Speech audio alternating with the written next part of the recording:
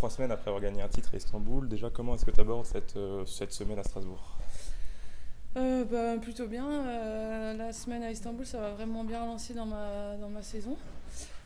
C'était compliqué le début d'année, donc du coup ça m'a fait beaucoup de bien et ça me donne un peu d'air pour les tournois qui ont suivi. Donc après, ici c'est vraiment ben, la continuité de, de, pour préparer Roland Garros, euh, c'est un tournoi hyper important et euh, moi je le joue quasiment tous les ans, donc euh, dans ma préparation c'est un, élément important.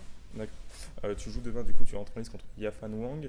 est-ce que déjà tu connais bien cette joueuse et comment est-ce que tu prépares ce match? Est-ce que tu as une façon particulière de l'aborder? Je la connais, je l'ai joué sur dur en début d'année, j'avais perdu, donc ça va être un match, j'ai une revanche à prendre. Après ça n'a rien à voir, c'est sur terre battue, une surface où moi je me sens, je me sens mieux, donc après, moi, je me prépare vraiment pour moi. Euh, l'adversaire, ça, ça importe euh, pas beaucoup. Euh, j'essaie de, bah, de bosser, d'avoir une continuité tous les jours sur, sur mes qualités, renforcer mes forces, etc. Et puis, puis après, on, aura sûrement un petit plan tactique pour le match. Mais voilà. Et toute dernière question, on a eu Amandine tout à l'heure qui nous disait que l'un de ses objectifs dans les prochaines semaines, c'était le double avec toi à Roland Garros. Est-ce que c'est réciproque ou...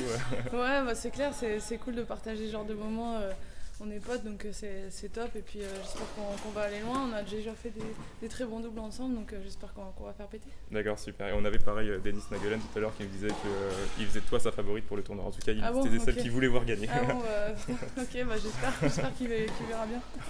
Merci.